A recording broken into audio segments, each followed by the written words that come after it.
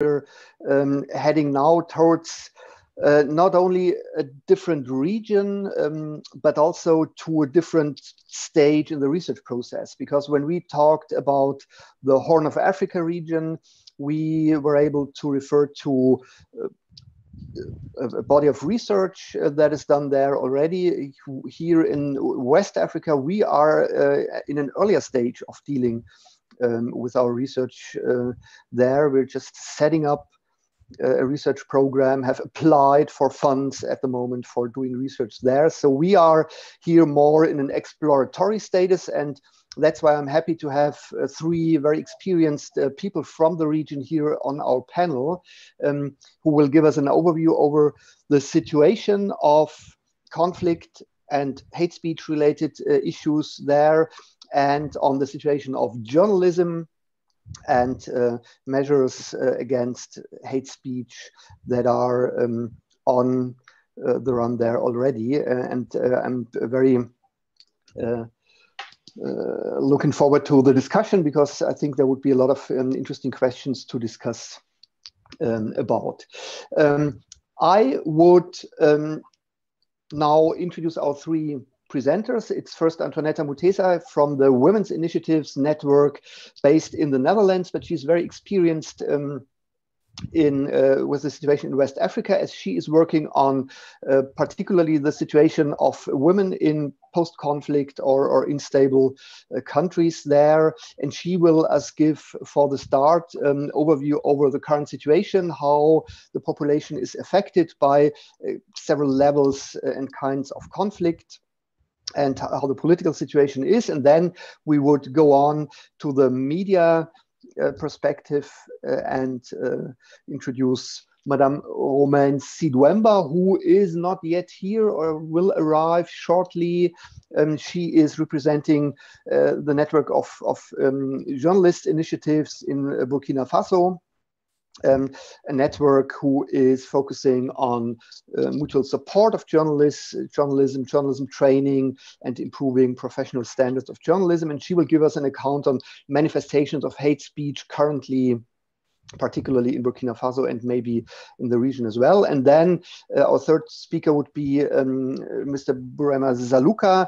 He works for Deutsche Welle Academy. He works there in several projects, um, also in media development and journalism training. And um, as far as I know, he is experienced in dealing with problems like uh, uh, fake news. Uh, he's doing fact checking trainings and uh, this kind of problematic content in the media there and maybe we can discuss with him um, also political and, uh, and um, journalism countermeasures uh, there as well.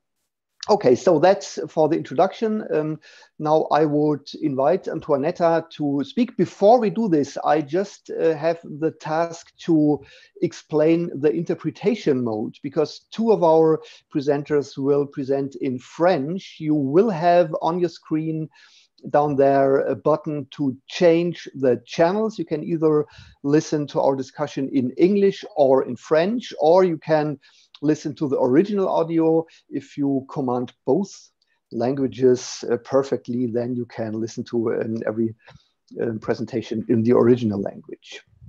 Okay, so now Antoinetta, the floor is yours. Uh, are you sharing the presentation? Um, if you would like to, I can share it for you. You could yes. do it yourself if you want. Oh, it's possible to share from here. Yeah, there's just a, a button share screen and um, but okay. Yes, it's enabled for you, so you should be able to share it. Oh, okay. So let me see the. I thought you were going to share it, so let me get it. Yeah, I, if if you like would like to, I can I can do it for you. So I just then have to hear when to change slides, but I can do that if you if you like. Okay, that's fine. Then I don't have to go and fish for it again. Where is it? Okay, so then I'm sharing my screen.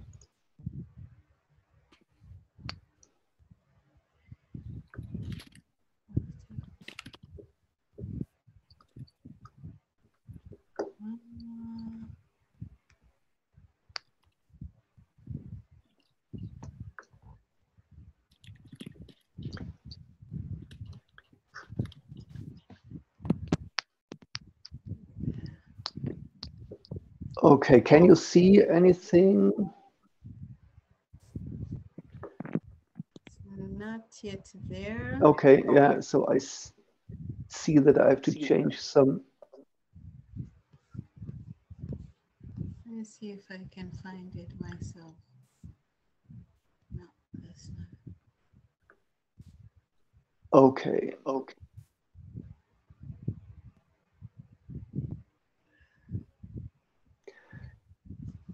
Okay, so I have to change my screen, but I would have to log out uh, and log in again um, to be able to do that. But uh, Let me see if I can.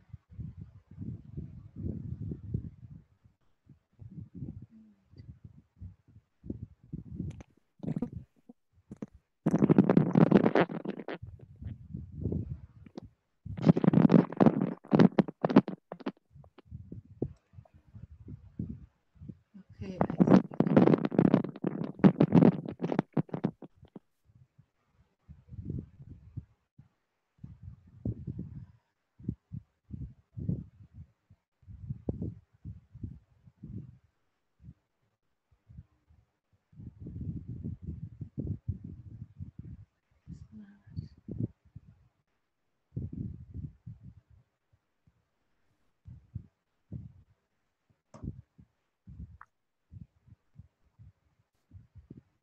oh, all right, here I am again. Can you see my screen now? Yes, yes. Okay, great. And now we, I can welcome, before you start, I just can welcome um, Madame Romaine Sidwemba from uh, Ouagadougou. Great to have you here. Um, we are just starting our presentations with the presentation of Antoinetta Mutesa and um, Madame Sidwemba, you would be then the, the second presenter in the row. Is that okay for you?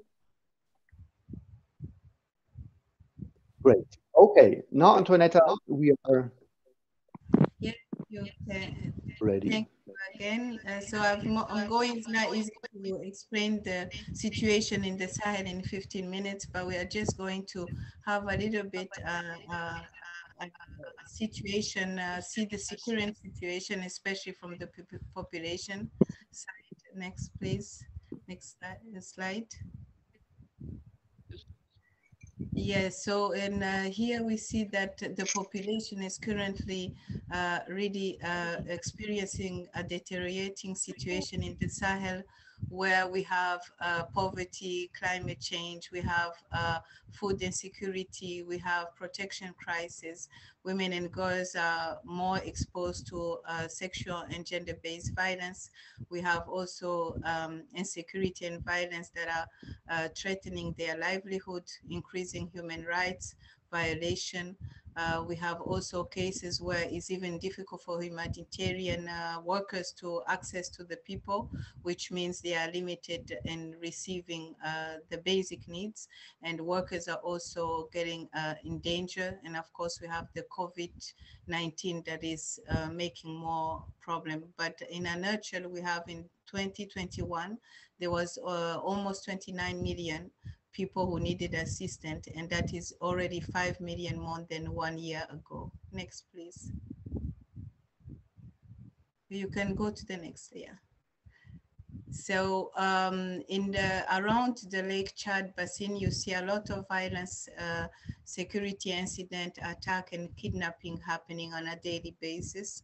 Uh, community are mostly uh, caught in some armed groups, uh, uh, anti-community violence or some military operation, and that affects again the basic social services uh, to be given to them. Between 2015 and 2020, there was a number of violence, uh, especially in the central Sahel, and it has tripled uh, in the Lake uh, Chad Basin, affecting uh, again communities, especially in remote rural areas. Next, please. So it, it's important to note that there was some election in the region uh, the 2019 so the president uh, Mahmoud Ould Ghazouani uh, becoming uh, the first uh, democratic transition of power since its independence. So that is something that is uh, already to note. In Niger, we also have a new president that marked also the first peaceful transfer of power uh, between two elected government. And we have in Burkina Faso, the president was re-elected re for a second term. Next, please. And then in Chad, uh, while it's important in terms of the G5 Sahel, uh, so on, on, one side we have new election, and another side we have the president Idriss Deby, who had just been elected, re-elected, that died, uh, was killed on April 20th this year, re being replaced by his son, the General Mahamat Idriss Deby, which is now who is now uh, acting as the president of the transition. And in Mali, we had a coup in August 2020, and another recently, some few uh, few days, few weeks back, in May 21, and it has now the Colonel Assimi Goita as new president of the transition, both being, uh, I think, the same age, 38, 37 years old. Next, please. So uh, in, uh, in the situation that we have, we have the, it's important to note the, the uh, Force Conjoint G5, G5 Sahel uh, because it's, uh, it had the mandate to be able to address regional nature of the threat and to fill the trans-border security gap in order to, um, to help the country in the G5 Sahel in their security and development matters. But we see there are still a lot of challenge, uh, especially challenge related to funding uh, mechanisms that are unpredictable and technical assistance but we see yet an opportunity because as African forces, they can not only contain, but they can contribute to eradicate terrorism and control illegal trafficking in the region. And this without any large contingent of foreign troops, which are already creating tension among communities. Next, next please.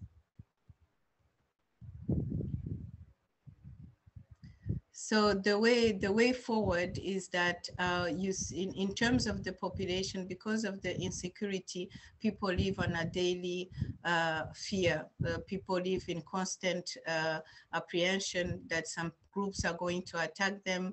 Rumors about potential act uh, or actual or fake attack in distance communities spread like a wildfire people don't know who to trust they don't know uh, who to uh, who to believe people who were in good terms in the past, they start to point finger each other. So and more and more civilians are being targeted, they are being intimidated, harassed and killed by conflict actors who accuse them of siding with the opposite side. So this cycle of hate has been uh, spreading is uh, probably one of the most dangerous feature of tragedy unfold in the Sahel. And that's why trust building is so important because currently without any trust, there's no sustainable peace. Next, please. I think I'm done. I chose this proverb uh, until the lion tell uh, his side of the story, the tale of the hunt will always glorify the hunter because it's very important. The ownership of the story, the ownership of the peace in the Sahel belongs to the people first. And until they are able to own that peace process, to own the decision making, then it will be really difficult for them to uh, to overcome the, their situation. Thank you.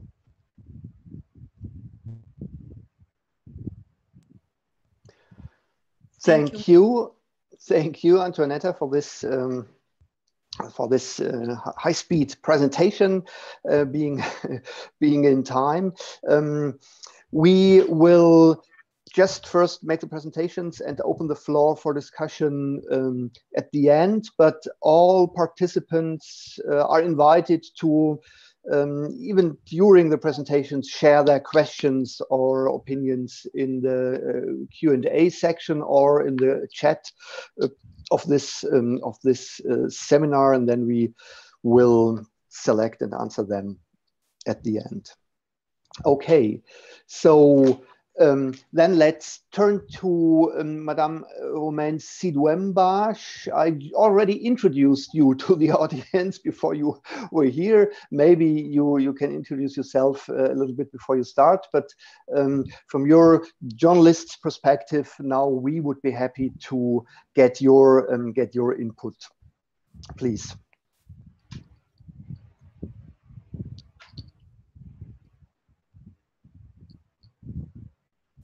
Unmute, unmute.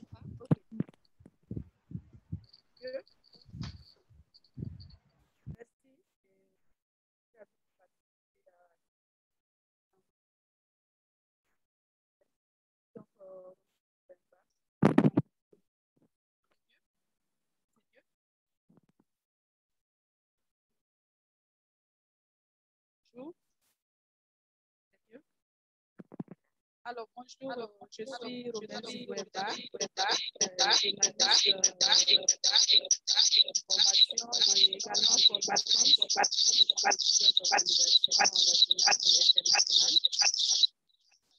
Donc, pour ma présentation, j'ai choisi de mettre l'accent sur les manifestations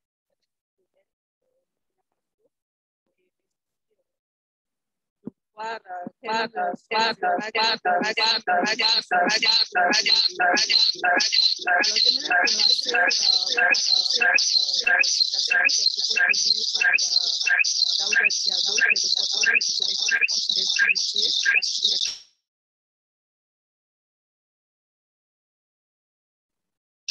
matande, matande, matande.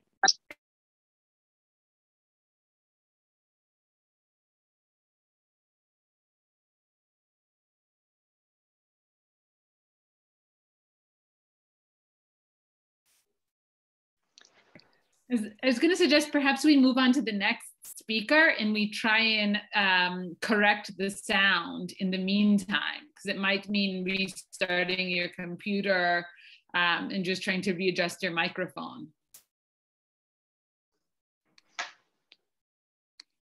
Or maybe there's a, another microphone option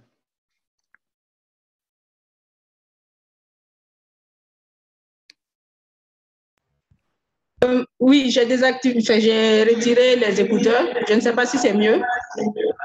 Non, c'est mieux?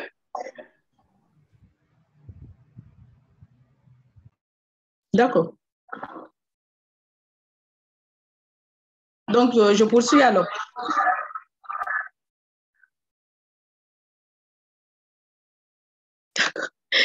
Voilà. Donc, euh, je voulais commencer par ces propos tenus par Daouda Diallo, qui est le porte-parole du collectif contre l'impunité et la stigmatisation des communautés. Voilà, il disait donc au cours d'une intervention dans les médias qu'aujourd'hui au Burkina Faso, il y a des groupes sociaux qui se sentent marginalisés et même au sein d'un même groupe social, il y a des discriminations, des formes de stigmatisation et tout cela est un handicap pour la construction d'une nation véritable et pour un développement réel. Euh, ce collectif-là contre l'impunité et la stigmatisation des communautés est né au lendemain de tueries ayant ciblé la communauté Peul à Yirgou, c'est au centre nord du Burkina Faso.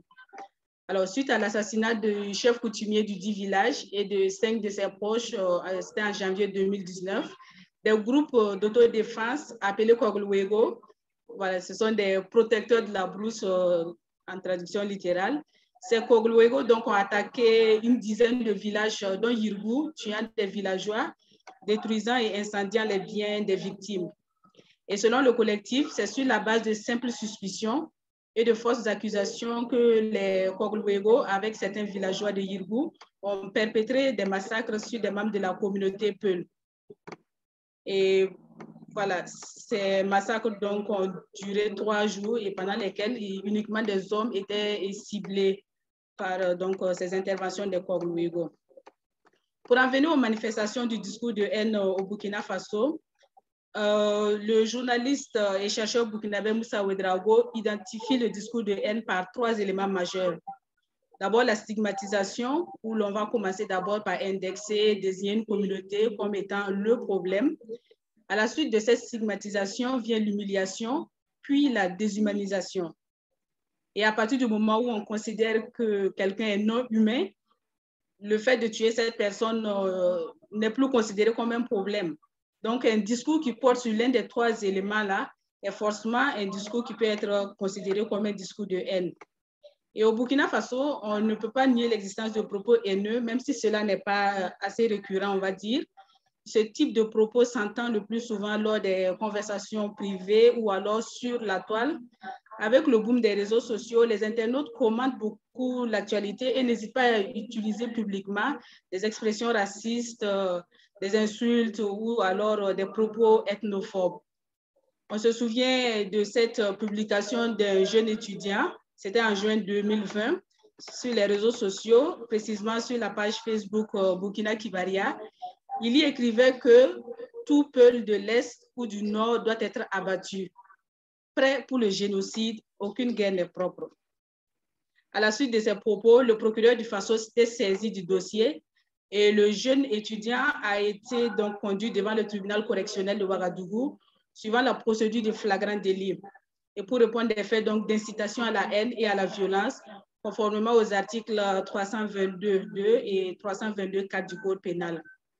Il faut dire que pour des faits euh, similaires, un étudiant a été condamné en octobre 2019 par euh, ce tribunal correctionnel donc, à 24 mois d'emprisonnement ferme et à une amende euh, de 300 000 francs CFA. Alors, pour en revenir au drame de Yirgou, euh, je dirais que ce drame illustre assez bien les manifestations du discours de haine et leur impact sur la communauté.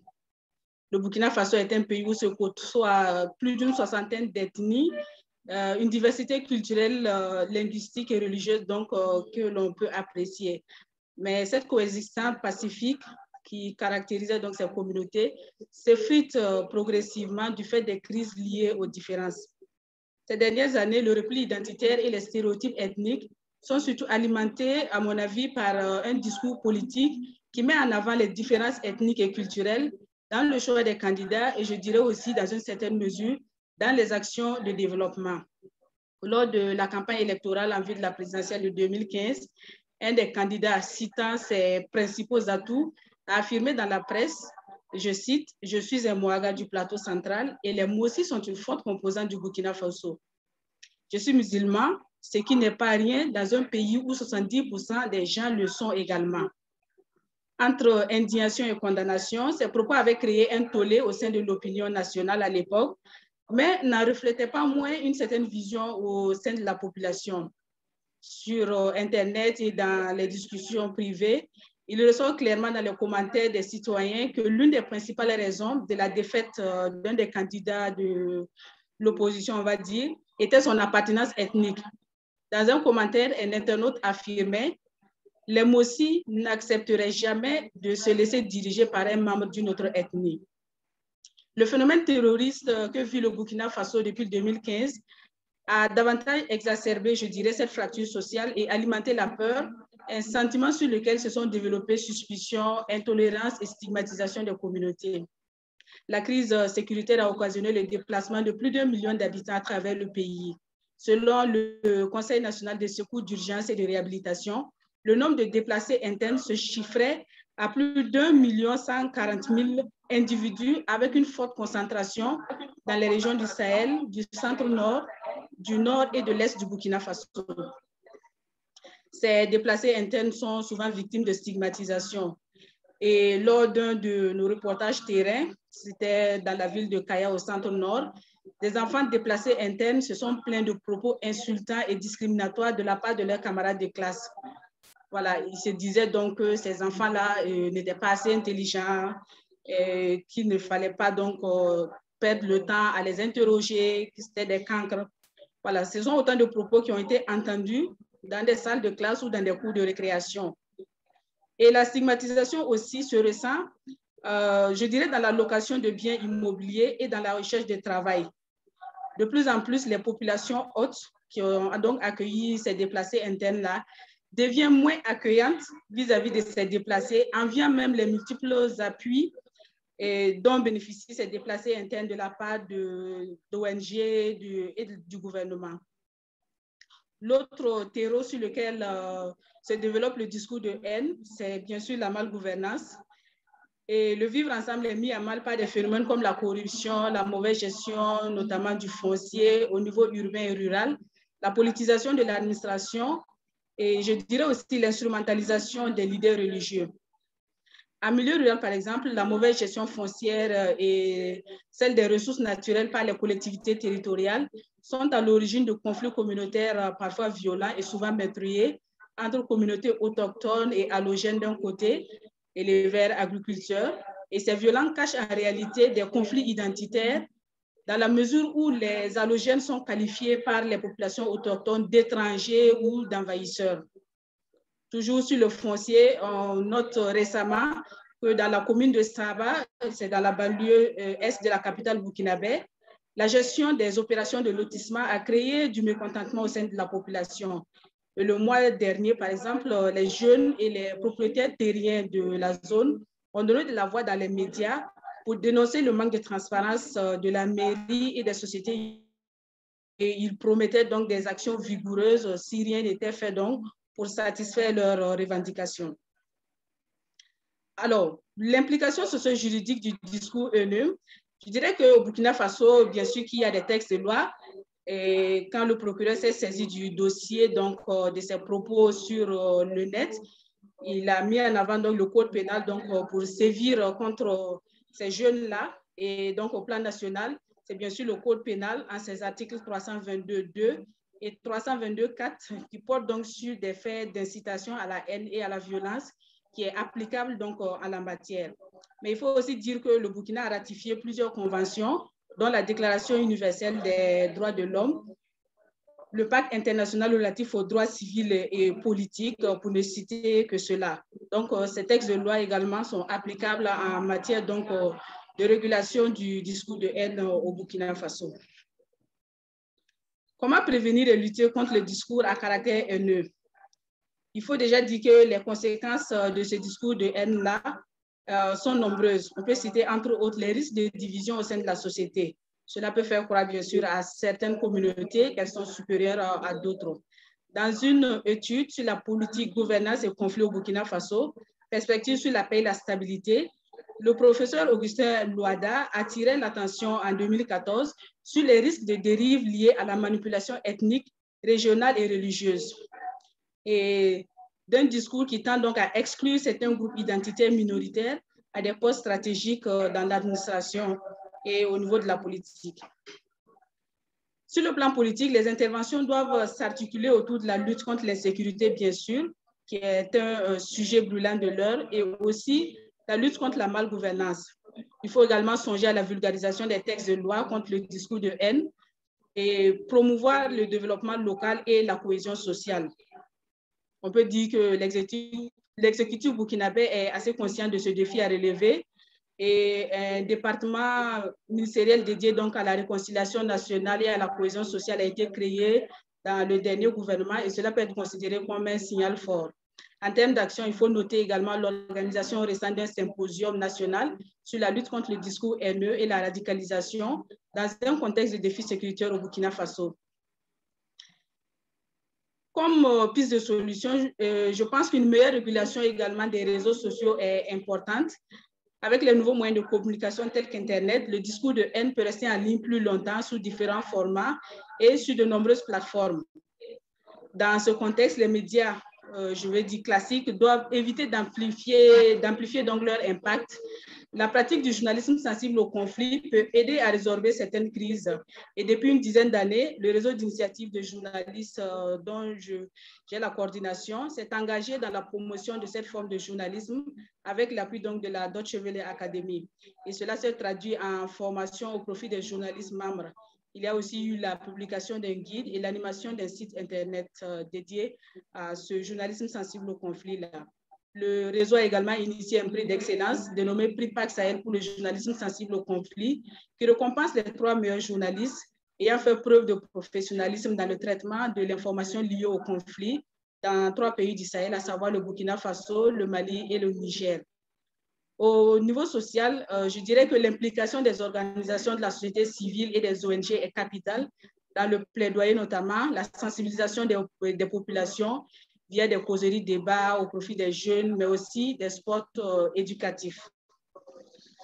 Alors, pour conclure, je dirais que dans un contexte de plus en plus marqué par des risques de fracture sociale, la liberté d'expression, au-delà d'un droit légitime pour les citoyens et la presse, requiert un véritable sens de responsabilité. Il est fondamental de savoir qu'aucun discours incitant à la haine ne saurait, justifier, ne saurait donc se justifier par la liberté d'expression.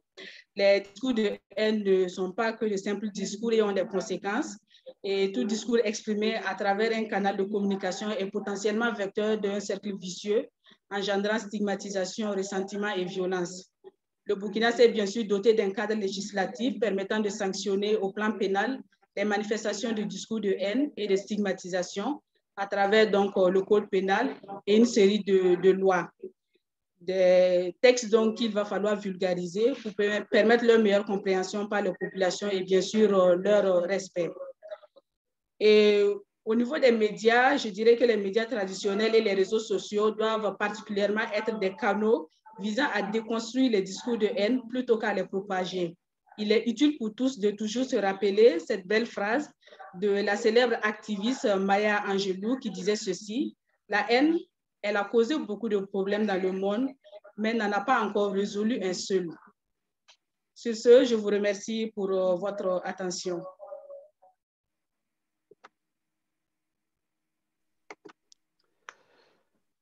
Thank you very much.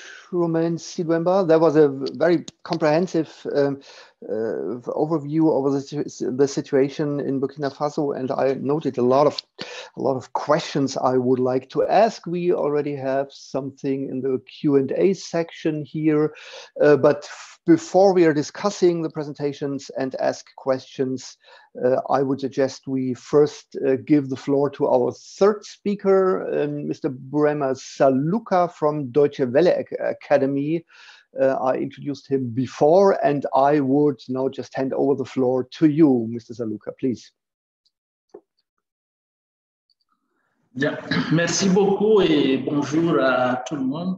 C'est un immense plaisir et un honneur euh, fait à la Deutsche Welle Academy et à ma personne de participer à ce panel sur le discours de haine et la modération des contenus euh, dans la région du Sahel et ses implications socio-juridiques. Je suis Brema Salouka, je suis euh, le représentant de la Deutsche Welle Academy au Burkina, je suis journaliste et je forme aussi les journalistes. Par ailleurs, je travaille pour pas mal de médias au niveau international. Je dois dire que ma consoeur romaine Zidwemba a excellemment et brillamment bossé la situation du, Burkina, qui reflète un peu aussi la situation que l'on retrouve dans les autres pays du Sahel. Donc, euh, je vais beaucoup plus m'apaisantir sur les éléments qui justifie que nous soyons dans ce type de contexte, d'autant plus que Mme Antoinette Mouzeta a dressé un portrait de cinq pays qui constituent le G5 Sahel. Quoique, bon, si nous voulons prendre le Sahel dans tout son sens géographique, il va bien au-delà de, du Burkina, du Mali, du Niger, de la Mauritanie et du Tchad pour englober d'autres pays qui vont s'étendre depuis plus à l'ouest du continent du Sénégal et s'étendre bien plus à l'est.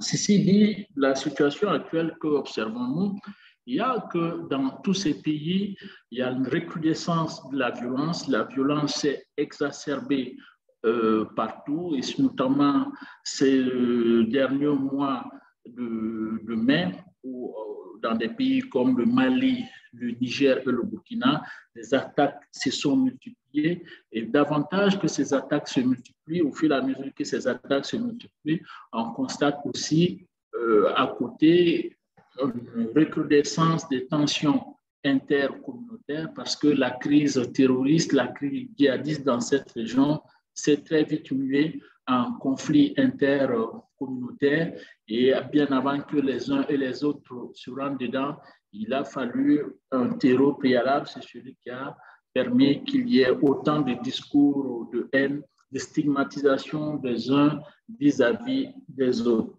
Mais ce que l'on ne dit pas beaucoup, c'est que ce qui explique davantage cette situation de conflit intercommunautaire dans cette zone, c'est la raréfaction des ressources naturelles.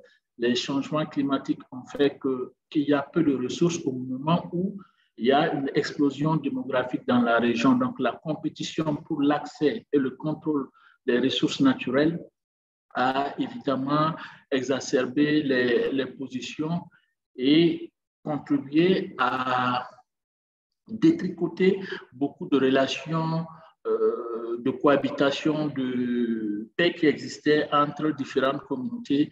Et très vite, les gens se sont agglutinés autour de leur ethnie ou de leur groupe religieux. Parce que le discours de haine dans la, dans la zone n'est pas forcément que ethnique, il, est, il a aussi une couleur religieuse. Et cette compétition a très vite dégénéré en affrontement et les médias aussi ont joué euh, un rôle dans, dans, dans, ces conflits-là. Si nous prenons une région comme le centre du Mali, qui est frontalière avec euh, Burkina, la région euh, du cercle de Barkas, dans le pays de Bon et dans le cercle de Mopti également, très vite, des médias se sont positionnés sur des appartenances euh, ethniques, soit nous sommes Peuls, soit nous sommes Dougons, et ces mêmes pratiques ont été observées aussi dans une région comme le centre-nord du Burkina Faso, où quand il y a, éclaté euh, ce conflit entre Moussi et Peul avec euh, les massacres qui ont eu lieu à Yurgou, des médias communautaires n'ont pas pu se détacher pour analyser froidement la situation et œuvrer à l'apaisement et ont souvent été soit trop euh, groupeux, soit trop groupe euh, et tout cela a contribué à envenimer la situation. Ce qui veut dire que même au-delà de ces radios communautaires au niveau national, beaucoup de journalistes ne sont pas au fait de ce qui se passe dans cette région. En étant eux-mêmes sous-informés, ils n'arrivent pas à avoir les outils de cadrage nécessaires pour cerner qu'est-ce qui nous arrive ici et maintenant et pouvoir donner la bonne information, les éléments d'intelligibilité aux populations pour qu'elles puissent aller au-delà de leur appartenance ethnique, de leur appartenance religieuse et observer le problème de façon rationnelle. On a très vite, euh, euh Romain a, donné pas mal d'exemples là-dessus. Euh, un terroriste, des gens à la peau claire qui venaient euh, voilà, du, du nord de l'Afrique, Algérie, Libye. Après, le terroriste, c'était la figure du, du, Peul, du berger Peul, du Touareg. Après, maintenant, quand on a commencé à voir que, bon, il y a des populations aussi de couleur noire qui sont dans ces, ces, groupes armés-là, on a commencé à dire non, le terrorisme, c'est tout le monde. Mais jusqu'à présent, les médias, que ce soit les grands médias dans les capitales ou les radios communautaires, n'ont pas pu s'articuler sur les travaux scientifiques qui ont été faits par pas mal d'instituts de recherche pour expliquer ce qui se passe dans cette région du Sahel. Les médias n'ont pas encore pu expliquer qu'est-ce qui se passe pour que les gens puissent comprendre. À leur décharge, il faut dire aussi que le discours politique, le discours de ceux qui dirigent, ne, comment dirais-je cela, n'autorise pas à une meilleure euh, compréhension parce que ceux qui dirigent ont eux-mêmes eu à s'inscrit dans des discours qu'on a déjà vus, notamment aux États-Unis. Par exemple, au Burkina, ici, on a entendu parler de l'axe du mal, hein, qui est une référence de la droite euh, des, libéraux américains quand il s'agissait de désigner l'Irak ou les, les, talibans, mais sans jamais remettre en cause aussi leur propre responsabilité. Et sur le plan juridique, Romain Zivimba l'a également dit, dans ces différents pays, il y a pas mal de lois qui travaillent et qui interdisent de tenir des discours de type haineux fondés sur la religion, sur l'ethnie ou sur euh, le pigment de la peau. mais il faut dire que dans les faits, il n'y a pas assez de contrôle pour que cela soit appliqué. Quand on l'applique, comme c'est le cas du Burkina Faso, avec les deux cas de ces jeunes étudiants qui, à mon avis, ont beaucoup plus agi par suivisme sans grande réflexion. La justice les a condamnés, pour l'exemple, mais il n'y a pas ce travail d'éducation. Et l'un des grands problèmes dans cette région euh, sahélienne aussi, c'est l'éducation. Les systèmes éducatifs sont en faillite et euh, les mécanismes qui naguère existaient dans les communautés, dans les sociétés et qui permettaient de construire des hommes et des femmes de qualité sont eux-mêmes traversés par la crise. Il y a une crise de leadership, il y a une, crise de modèle qui font qu'on se retrouve avec une société majoritairement jeune et sans repères. Et le peuple, au moment où aujourd'hui, presque tout le monde a droit à la parole et est capable de produire du contenu à partir des réseaux sociaux, euh, d'un smartphone et d'Internet. C'est là que nous assistons à beaucoup de dérives. Au même moment également, nous voyons que le discours qu'il y avait eu dans les années 60 pour travailler à construire euh, des États-nations, ce discours a complètement disparu de la bouche des, comme on appelle, des leaders politiques et même les espaces de socialisation où nous travaillons à construire naguère des identités plurielles, euh, ces espaces-là aujourd'hui sont elles aussi, sont eux aussi pardon, en panne. Donc l'un dans l'autre, on se retrouve dans une situation où on a beaucoup de gens qui s'expriment, mais sans avoir véritablement de fonds intellectuels intéressants en vue de contribuer à quelque chose de bien. Et dans une situation de crise, très rapidement, on assiste à des replis de type identitaire fondés soit sur la religion, soit sur euh, la couleur de peau, soit sur, juste pour des questions d'intérêt. C'est ça, les, pour moi, à mon avis, le grand problème que nous observons dans application, c'est le risque de voir davantage ces pays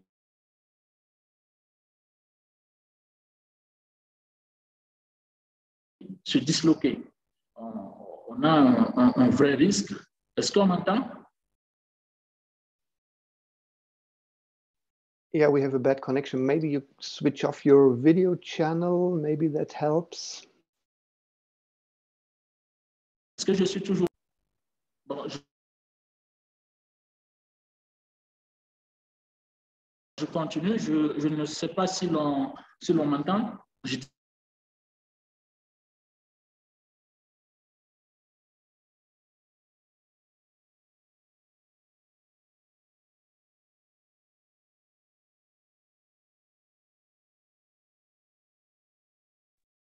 Allô?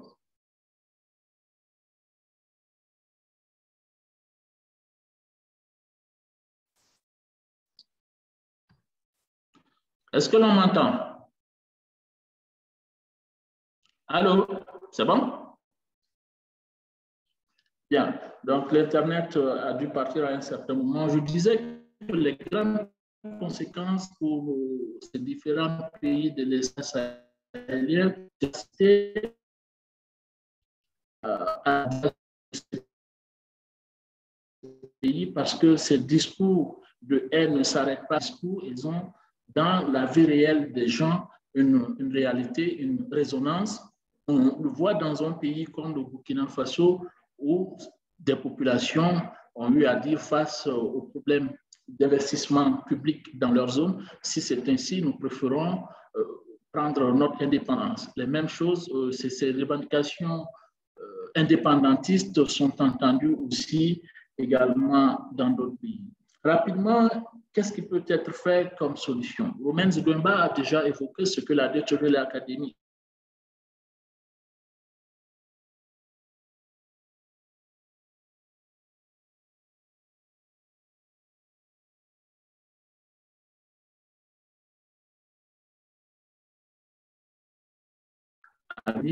mais il faudra davantage mettre l'accent sur l'éducation. et surtout d'éducation aux médias et à l'information que la Deutsche Welle Academy mène déjà avec euh, un de ses partenaires qui s'appelle EduCommunique Afrique.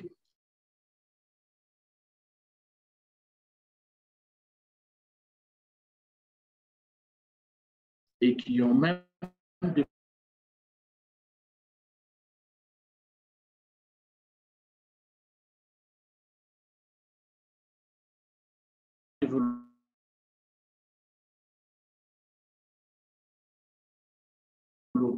à des élèves qui sont du rôle à jouer, c'est celui de travailler à la cohésion sociale entre les communautés en ayant un discours qui donne la place à toutes les composantes de la nation, c'est-à-dire aussi réécrire le roman national pour que les communautés qui n'y sont pas puissent y figurer, que leur histoire aussi soit racontée et retravailler à mettre en place les espaces où l'on quand même euh, travaillé à une certaine cohésion, à une euh, certaine euh, identité nationale, que ce soit l'école publique, que ce soit l'armée, que cela reflète la diversité et engager les jeunes sur des chantiers de développement concret ou indépendamment de leur appartenance ethnique, religieuse ou de leur couleur de peau, ils puissent travailler à un même idéal.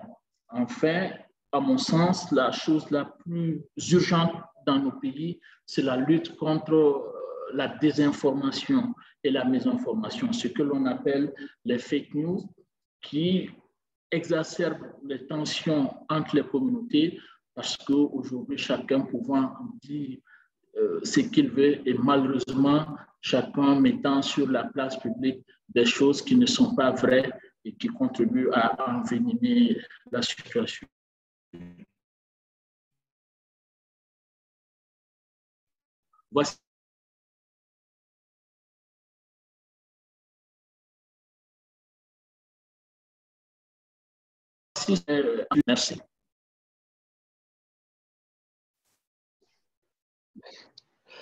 Okay, thank you. Um, we, we just lost you in, in the second half of your presentation. We lost you sometimes, um, but I think we caught most of what you wanted to say. Now, thank you very much for all of your presentations. Um, we have already collected some questions before I hand over to um, our um, to, to, to some of the questions. I just had one question, one point of information that um, uh, you, Burema, and um, uh, Madam Sidiemba could uh, answer for us, and that is to specify a little bit more what kind of media play the major role in disseminating hate speech. Uh, you, all, you both mentioned this case of a student who was posting who was posting uh, hate speech uh, on the internet. But what role do internet play in general for these hate speech, fake news distribution, um, and what role do other media play, like radio, for example, which uh, usually is a very important medium, and word of mouth communication. It would be great if you could just give us a short assessment on, on which media um, are, are relevant in this field. Hello.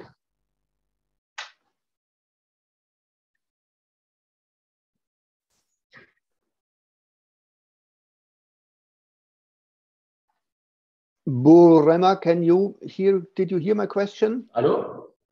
Oh. he he didn't. So, Romain, would you could you answer my question? Um,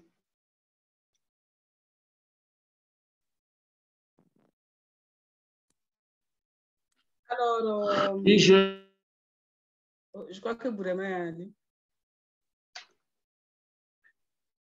J'ai entendu, je crois. yeah, sure. Um, please.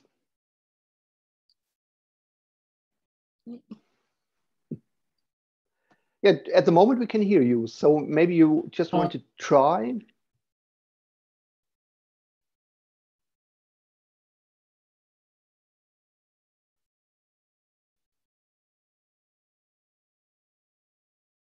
Alors, donc, euh, je vais peut-être euh, donner une euh, réponse en attendant que Bourema puisse avoir une meilleure connexion. Alors, je dirais que les médias sur lesquels on retrouve davantage ces discours de haine, c'est plus les sites Internet des, médias. Il faut dire que quand les médias publient leurs articles, il y a souvent beaucoup de commentaires en bas de ces articles-là. Les internautes viennent réagir. Et donc, c'est dans ces, ces forats de discussion-là que souvent des propos haineux ressortent euh, euh, beaucoup sur, euh, sur Internet. Il y a aussi les, les échanges sur Facebook, mais aussi sur WhatsApp, je dirais, les, les, réseaux sociaux.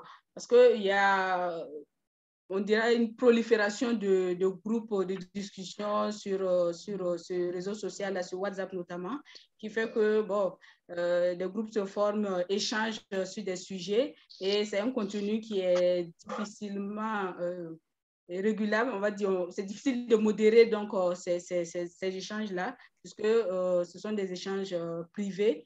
Donc, à moins que ces, ces, discussions ne soient portées sur la place publique, sur le Internet, par exemple, il est difficile donc de modérer ces propos-là. Mais pour, pour, ce qui concerne donc les, les commentaires donc, sous les articles, déjà les médias qui hum, publient ces articles-là ont euh, un système de modération euh, en amont, donc euh, qui permet déjà de sélectionner certains commentaires à ne pas diffuser, etc., s'ils estiment que ces commentaires-là diffusent donc un contenu haineux.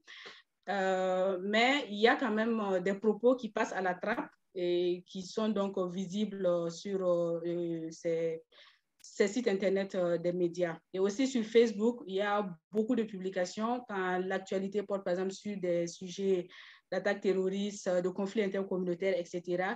Il y a beaucoup de commentaires et dans ces commentaires, on retrouve très souvent des propos discriminatoires, des propos haineux.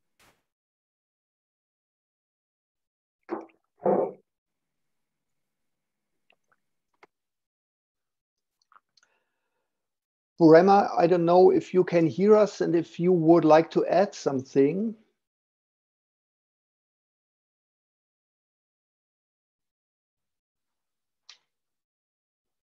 You are muted. Okay, thank you. Alors, je disais que, euh, en plus de ce que Romain a déjà donné comme élément de réponse, notamment sur les réseaux sociaux, il faudra ajouter qu'il y a un élément aujourd'hui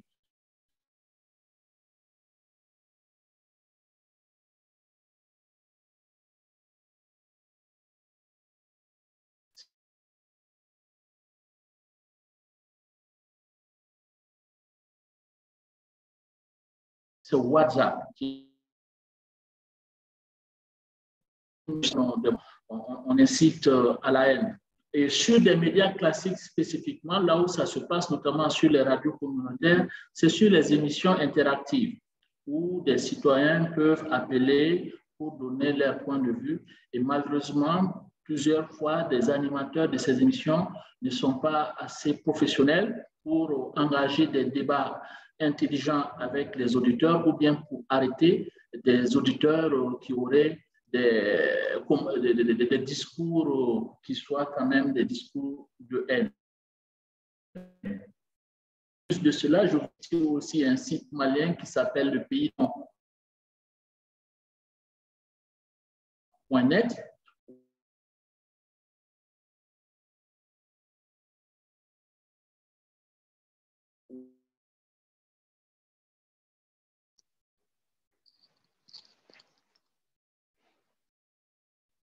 Okay, so I think we have lost him again. Maybe we uh, check now our Q&A section and the chat. Maybe there's one question I think that could go to Antoinetta uh, in the chat. Maybe we can uh, use her probably a bit better connection uh, here. And, and that's the question. Oh, I'm sorry. Yeah, we just lost you for a minute or so again. So, but if you're if you still have something to say, do it, please. Now, as we can hear you. Ok. Donc, je, je disais, je parlais de ce groupe, euh, de, de ce site euh, malien, le Dogon.net, qui est un site Prodogon qui, qui, qui, se trouve au, Mali. Et sur Facebook, vous avez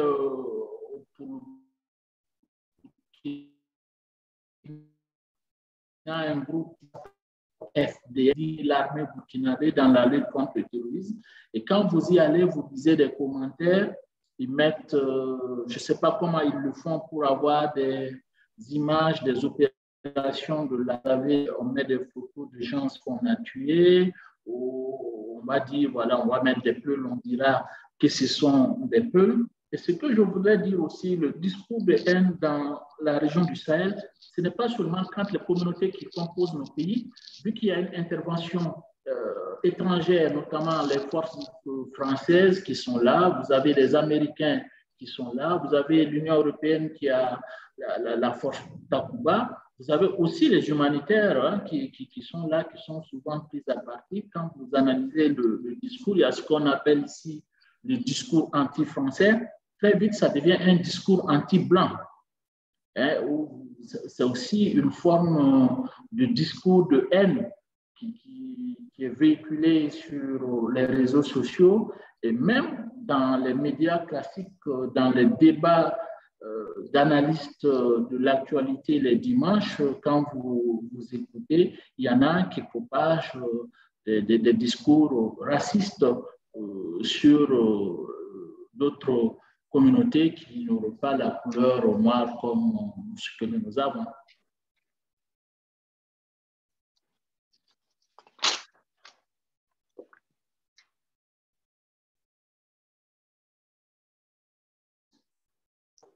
Okay, thank you.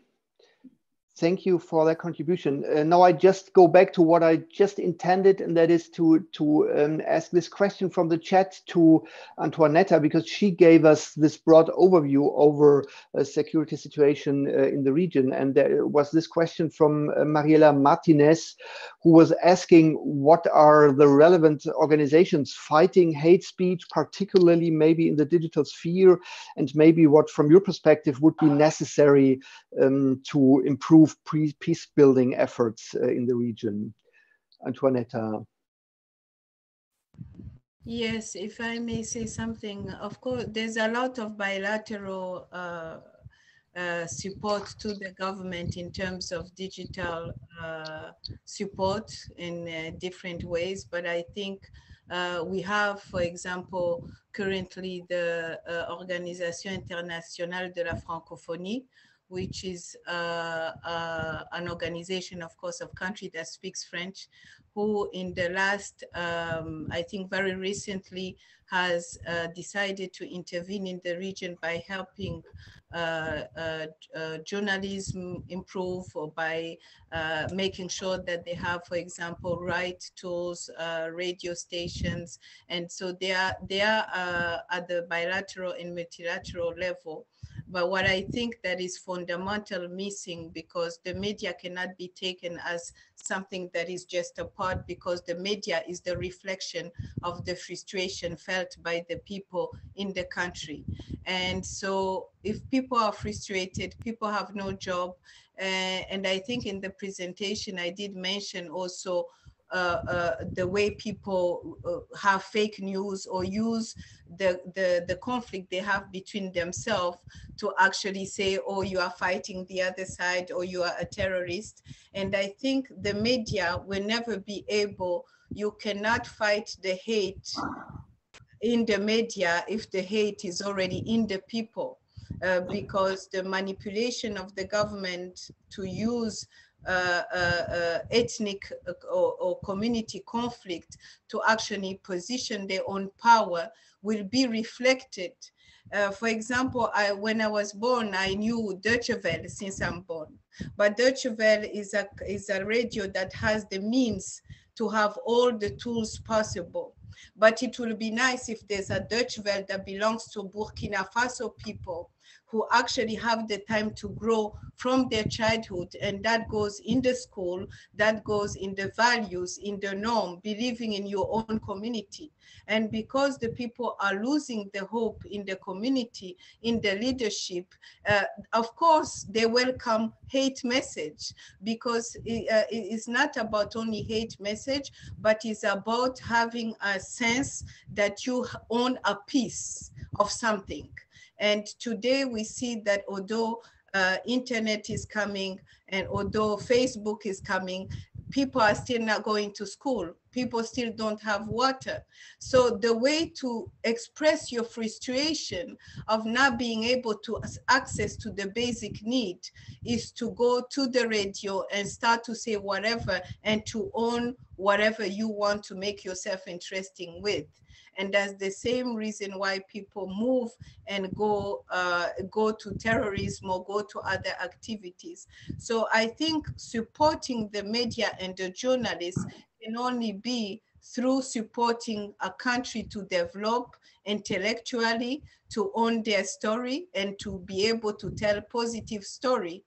And so if they have negative story in them, in their feeling, there is going to be also um, negatively reflected in the media. Thank you, Antoinetta. So I would just uh, pick another two questions from the Q&A section. Um, already answered some of the questions, but uh, as you did it in French, I would just uh, pick one of them again and um, would ask you, maybe both of you, Burema and, and Romain, to, to answer the general question, uh, what platforms like Facebook, you mentioned Facebook as an important uh, platform, but even newspapers with their comment sections, what do these organizations do in order to fight hate speech? Is there a regular filtering? Um, do, do you know about their strategies um, on, on hate speech?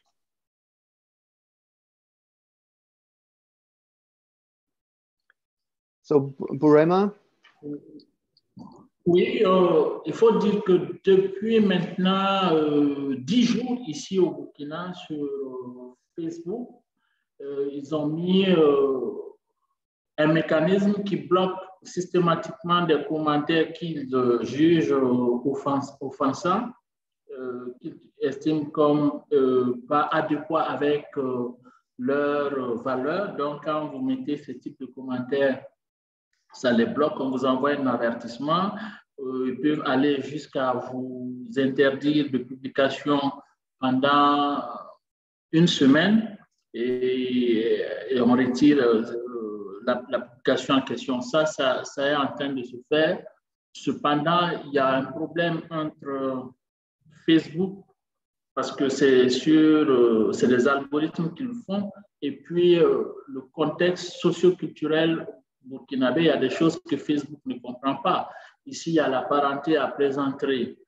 Euh, par exemple, Romain et moi, on a une certaine parenté à présenter à partir de son épouse, où je peux lui dire, en guillemets, voilà, elle est ma chose, bon, Romain, c'est pas la peine. Mais ça, entre nous, ça passe, mais Facebook ne connaît pas cela. Et Facebook le bloque. Et Facebook bloque quand c'est en français, c'est en anglais, c'est en en, allemand, mais Facebook ne comprend pas nos langues. Moi, je peux continuer à avoir un discours de haine que j'écris en mourir, mais Facebook ne comprend pas. Facebook ne va pas le retirer et ça va continuer à avoir l'impact euh, que je souhaite avoir sur, sur, Facebook. C'est ça un peu les, les, limites. Si vous me permettez, avant que Romain ne réponde, répondre rapidement une question, mais le discours anti-blanc, mais que font les Russes, qu'est-ce qui marche? C'est exactement ce que Mouzita a dit. Les populations, il y a le niveau de culture informationnelle est faible et c'est là-dessus que ceux qui aspirent à arriver au pouvoir jouent là-dessus. Les, les Russes travaillent là-dessus. Ils ont leur site Sputnik euh, qui fait de la, de la propagande. Ils ne sont pas là pour les beaux yeux des, des Africains.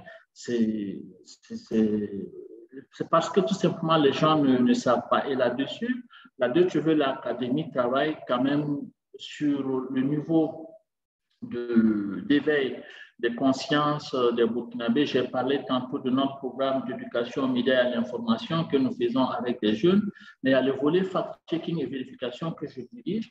Il y a une plateforme qui existe qui s'appelle FasoCheck, qui fait la vérification euh, et qui met les, les, éléments en, sur des thématiques comme la COVID, mais aussi sur ces, types euh, de, de, questions de sécurité, de gouvernance, de vivre ensemble, histoire de donner de la bonne information aux gens.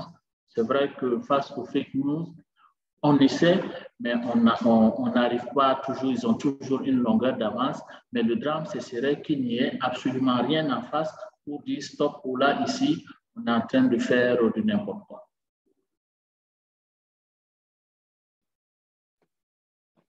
Oui, euh, merci Sanuka.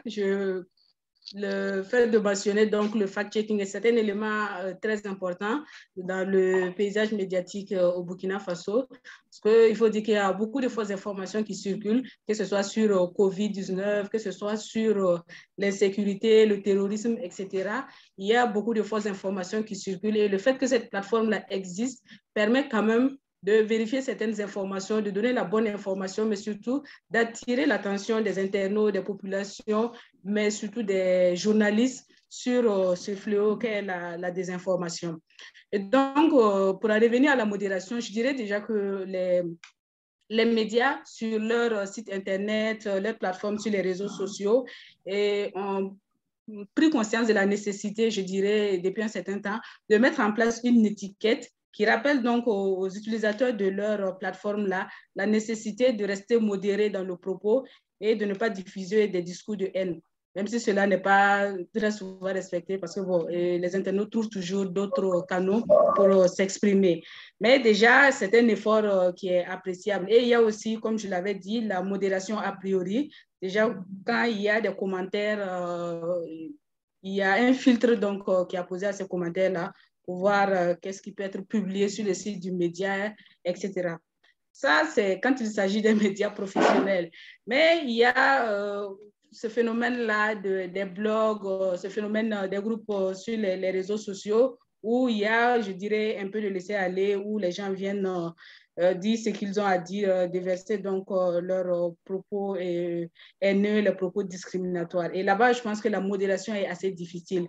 Mais comme je l'ai répondu dans, les, dans le chat, une des questions là, depuis un certain temps, je crois que le procureur du FASO est très alerte donc, sur la diffusion de contenu sur les médias sociaux et n'hésite pas donc à se saisir de certains dossiers quand il estime que les propos tenus sont de nature discriminatoire, insultant, etc., ou donc sont passibles donc, euh, euh, de, la loi, donc tombent sous le coup de la loi, je dirais.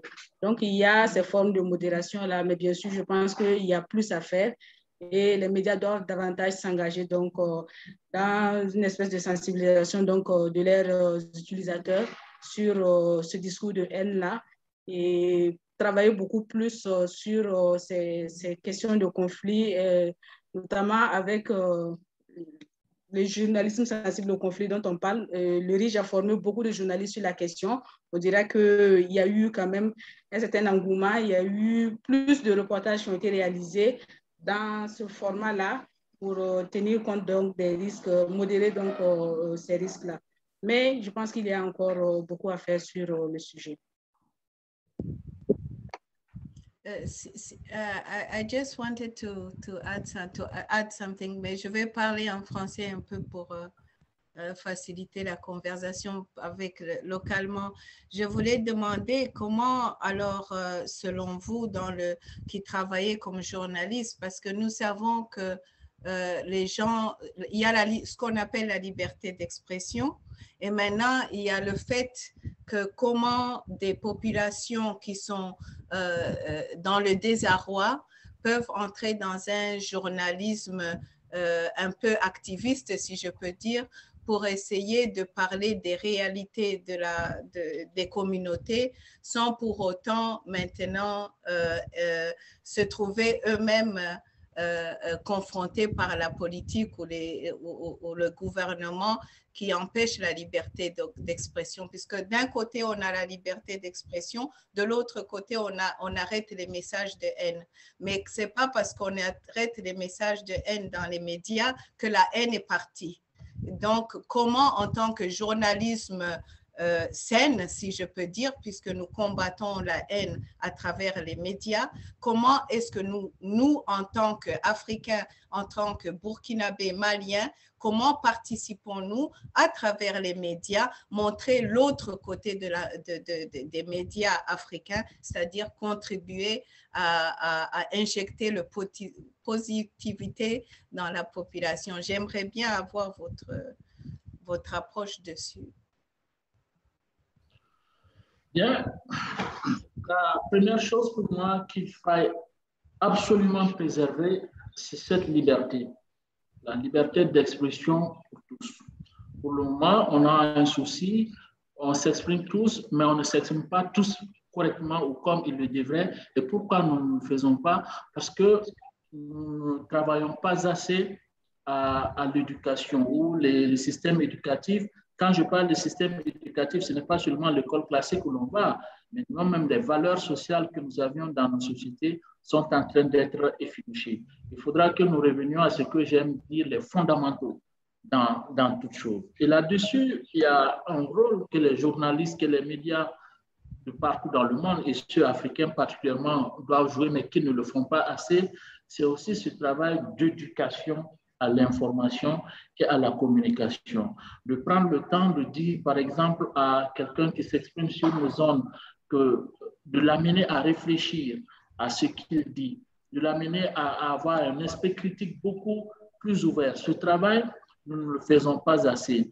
La deuxième chose qui me semble, parce que souvent on demande aussi trop à nos journalistes, à nos médias, euh, de résoudre des problèmes qui prennent leur source ailleurs, c'est-à-dire les modèles de société que nous voulons. Quel type d'homme, quel type de femme, quel type de société nous voulons, quelle présence consciente nous travaillons à avoir dans le monde? Malheureusement, aujourd'hui, notre classe intellectuelle, notre leadership politique a abandonné beaucoup de chantiers. Il faudra revenir sur ces chantiers de la construction de la citoyenneté vous direz peut-être que je donne des idées politiques, mais je ne sais pas si c'est le cas. Mais moi, j'estime que dans un pays comme le Burkina, avec une soixantaine de nationalités, avec euh, la 70% de jeunes, c'est un potentiel extraordinaire. Il faudra amener les jeunes à connaître l'histoire de leur pays. Ce qui veut dire travailler à écrire la vraie histoire, l'histoire scientifique, je ne parle pas de ces contes et légendes que l'on se raconte. Qui nous sommes et que nous l'acceptions et que nous amenions les jeunes à travailler euh, citoyennement sur des enjeux, par exemple l'environnement qui nous concerne en premier lieu, et sur l'éducation, sur les questions de santé, ou on prendrait par exemple un jeune qui est euh, originaire de l'Est du pays, il ira faire son service euh, civique dans le nord ou dans l'est où il va croiser d'autres jeunes, d'autres jeunes même qui ne seraient même pas allés à l'école parce qu'il y a beaucoup qui ne sont pas allés à l'école, ils vont se brasser, ils vont se connaître, ils vont contribuer à quelque chose, ils vont construire une identité nationale tout en reconnaissant leur identité singulière. Dans nos villes, dans nos quartiers, nous habitons côte à côte, on ne se côtoie pas, on ne se connaît pas, personne ne sait qui est l'autre on peut simplement avoir ce que j'aime appeler les ateliers de l'histoire. Les ateliers de l'histoire, c'est quoi? Aujourd'hui, euh, par les, communes, par les mairies, on ferait venir quelqu'un qui s'entretiendrait avec les gens dans le quartier pour raconter, voilà, tel pan de l'histoire, de, de, notre histoire, ou bien tel groupe ethnique du pays, voilà qui sont, comment ils vivent, on projette un film, on fait une activité euh, culturelle où on voit leur art culinaire, leur musique, leur danse, et, on apprend à se connaître. Parce que le drame aujourd'hui, euh, dans nos pays, nous vivons côte à côte, nous ne nous connaissons pas et chacun est ancré sur ses certitudes. Pourtant, on a beaucoup de choses à, partager entre nous. Mais qu'est-ce qui explique tout cela? L'école est en faillite. Euh, l'armée qui devrait brasser les gens, l'armée est en faillite. la fonction publique qui devrait travailler pour l'État est en faillite parce que infiltrée par l'ethnicisme, par la religion, par les affaires. Il y, a, tout cela. Donc, il y a un modèle de société à, construire. Et là-dessus, l'histoire, la culture, les arts ont un grand rôle à jouer, mais encore faut-il qu'il y ait un travail euh, de fond fait par euh, les intellectuels et que les politiques euh, prennent le relais et mettent cela au pinacle pour dire voici les grands enjeux sur lesquels nous pouvons travailler à, nous recréer parce que le Burkina, le Mali, le Niger, tel qu'on l'a connu, vont, ça ne va plus être les mêmes pays. Ça, c'est fini. On passe à un nouvel état. C'est une césure historique. On a eu la famine des années 73 qui a entraîné une césure historique sur cette crise, euh, euh, on appelle, environnementale, euh, sécuritaire, terroriste, humanitaire, nous inscrit dans une nouvelle étape. Et il faudra travailler à nous réinventer. L'Allemagne, après la Seconde Guerre mondiale, l'Europe, après la Seconde Guerre mondiale, ce n'est plus les mêmes sociétés. Ils ont été obligés de se repenser, d'avoir de nouvelles valeurs, d'articuler les sociétés là-dessus et de s'y engager. Donc, c'est un travail de fond, de fourmi. Pour le moment, il y a des îlots, parce que au-delà du journalisme, je suis aussi dans des milieux intellectuels où nous travaillons sur ces questions, mais nous sommes minoritaires, ultra minoritaires, nous sommes euh, petits, nous réfléchissons dans nos coins, mais il faudra que nous engageons ces réflexions-là sur le plan concret, dans la vie concrète euh, des uns et des autres. J'ai été long.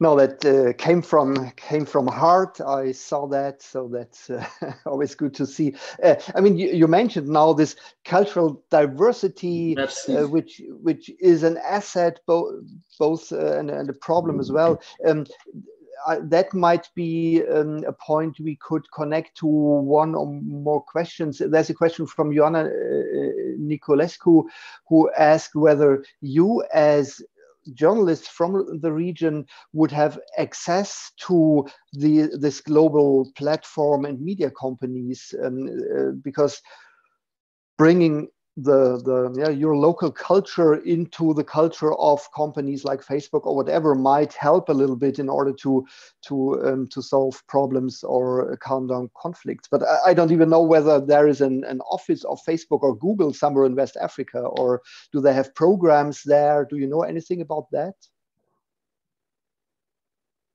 Oui, il a, il a beaucoup de bureaux de Facebook et de Google en, Afrique, sur la zone francophone, le bureau Facebook euh, est à Dakar et à Abidjan. Quant à Google, son bureau est à Dakar. Je connais la responsable, une des responsables en tout cas de Facebook euh, sur euh, l'Afrique francophone, qui travaille aussi sur les questions de discours de haine, de fake news, parce que Facebook s'est beaucoup engagé pour lutter contre les, fake news euh, en Afrique, notamment en signant avec euh, Africa Check, qui est la première plateforme de fact-checking en Afrique, et aussi l'AFP Factuel qui fait du, fact-checking. Euh, nous, ici, nous avons Faso Check qui travaillons beaucoup avec Africa Check, mais il n'est pas exclu que nous ayons des partenariats futurs avec Facebook pour travailler sur ces questions. Concrètement, sur le discours de haine, je dois dire que Facebook est assez réceptif et, c'est, euh, des gens ont eu des problèmes et leur ont expliqué que ce n'était pas des discours de haine, mais c'était de la parenté à plaisanterie, c'est des cours, c'est, du cousinage, c'est comme les Français et les Belges qui peuvent s'envoyer des vannes sans que cela ne soit mis sur le compte du discours de haine ou les Français et les Anglais qui aiment euh, se taquiner sans que cela ne soit vu comme du discours de haine. Mais quand on leur explique, généralement, ils arrivent euh, à comprendre et à, s'adapter. Mais pour le moment, ce n'est pas tout à fait ça. Il y a beaucoup de cut-off.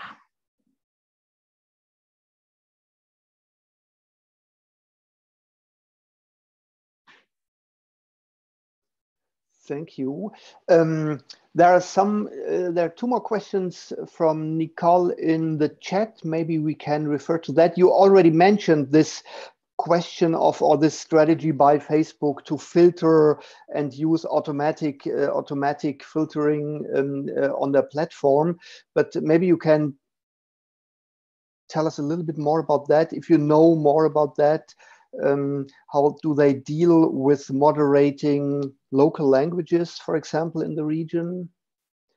And maybe if I can we... come in, I think my, my specific question was I was trying to understand the differences between algorithms moderating French, which it's far more developed for, um, than algorithms moderating local languages. Because at our last seminar, we were speaking about this in the case of the Horn, in Af- the Horn of Africa, where Somali and Amharic are what are called low resource languages. So algor- algorithms have not been trained on these languages. And so I was just wondering whether or not you see online, you know, significant online moderation of other African languages um, apart from French, for example?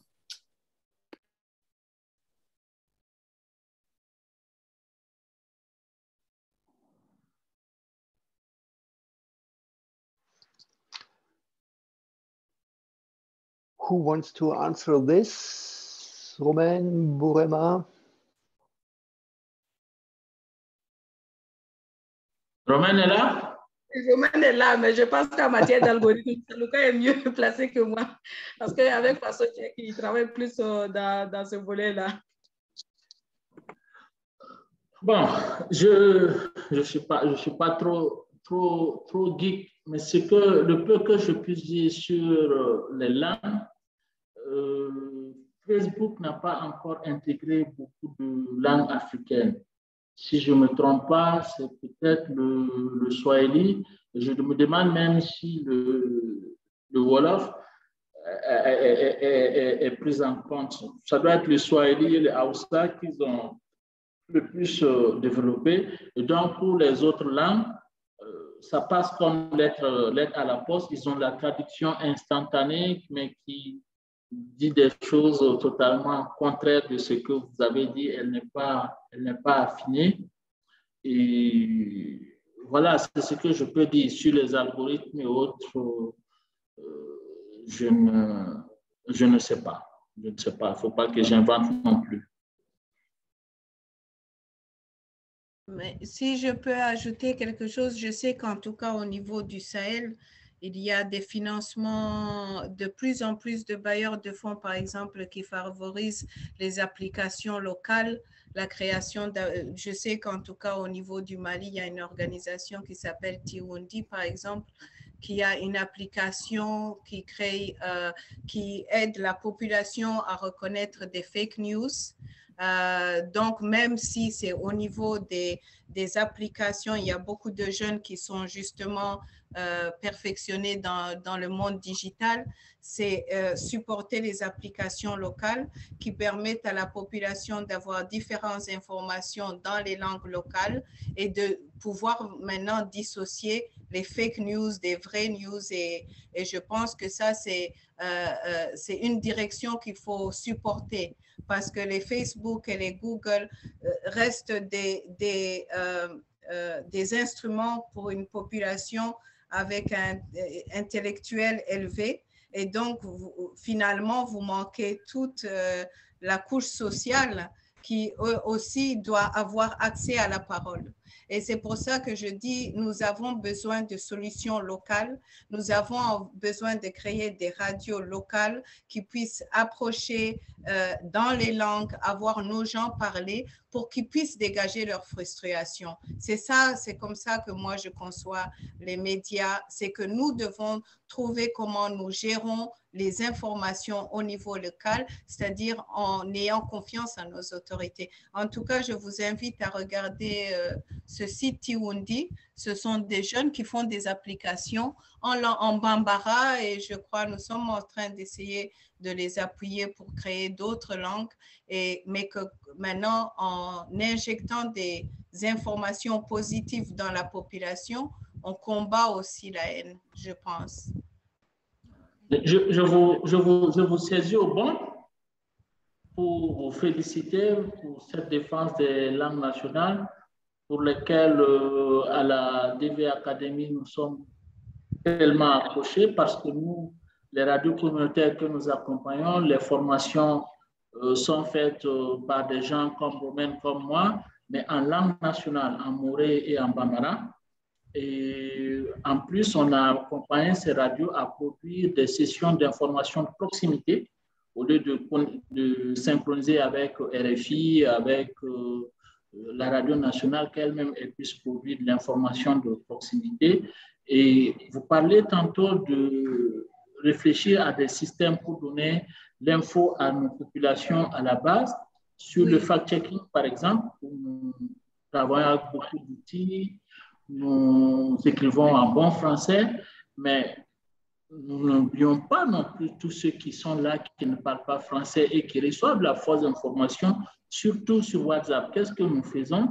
Quand nous finissons un élément qu'on a vérifié On le reprend en audio d'une minute à une minute trente, le fait qui a été vérifié, les résultats, et on fait le, montage et nous utilisons ce qu'on appelle les listes de diffusion WhatsApp parce qu'on a collecté beaucoup de numéros gens WhatsApp qui sont à l'intérieur du pays et nous envoyons cela dans les, la messagerie des gens qui les reçoivent comme message vocal pour savoir, ah, on a dit que le représentant du système des Nations Unies en Côte d'Ivoire euh, n'a pas été vacciné contre la COVID-19 et qu'il a fait semblant en réalité. C'est faux, il a été vacciné. C'est les journalistes de la RDI qui sont arrivés en retard et ont simulé telle chose.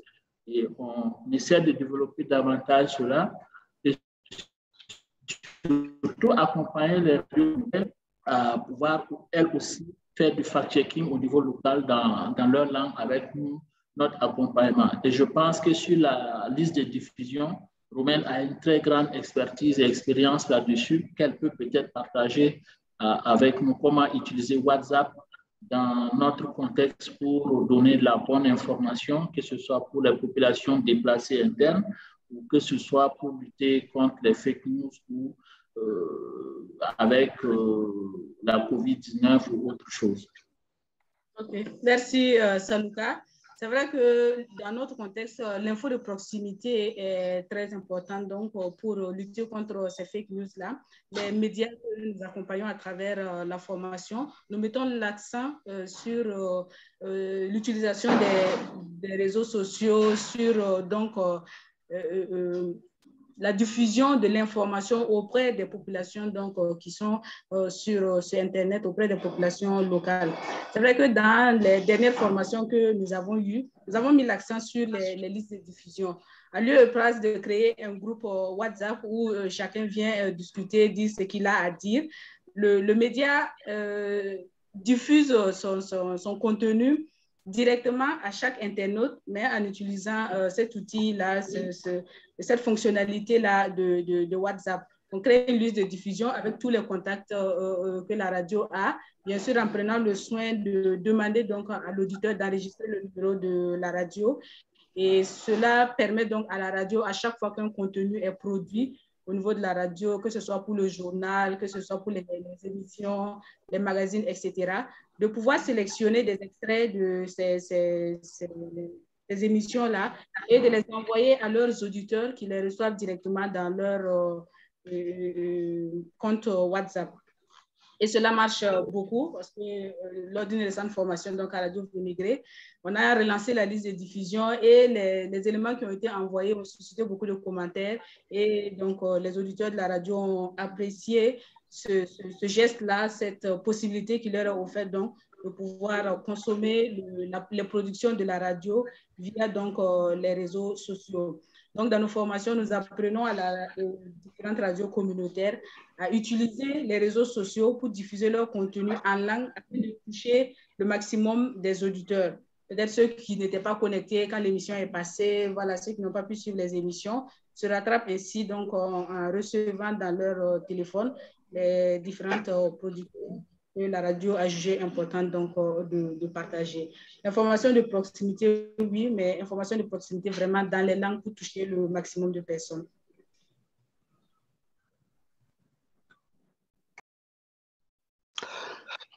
Wow, great. Thank you very much. That was interesting. And uh, I think that would be a point where we could talk for one or two hours longer about these issues. But uh, unfortunately, we have reached the end of our uh, seminar today. But I'm personally looking forward to probably work with you in the future as we try to develop some projects, uh, particularly in, the, in, this West African region. That would be um, a great prospect for me. And um, we, I would hand over now uh, again to to Nicole because she could maybe. Uh, say a few words at the end and and uh, invite us for our last session, which uh, is as early as next week. Thank you so much, colleagues. It was a fabulous lineup of presentations, and I'm glad that we managed to, to hold despite the technical difficulties. So we'll have to work on improved connectivity on the continent. Um, hopefully i'm calling in from johannesburg. And so you might have noticed i also disappeared for a while because my internet went off as well. So it's something that we're that we're all struggling with now. Um, so yes please join us next week. We have our final seminar within this series. Um, and it'll be a very interesting one with some representatives um, talking about corporate social responsibility and the responsibilities of large social media companies when it comes to AI and moderating online hate speech. So that's next week at the same time, next Thursday, June 3rd. Um, no, sorry, June 10th. Today's June 3rd. So we look forward to seeing you then. And thank you so much for joining us today. And thank you to Martin and a big, huge thank you to our fabulous interpreters because they did a wonderful job and really made this um, session possible. So we're very, very grateful for, for all of your support. Thank you. Yeah, thank you and goodbye. Bye. Bye, thank you. Au revoir, bonne journée. Bye, thank you.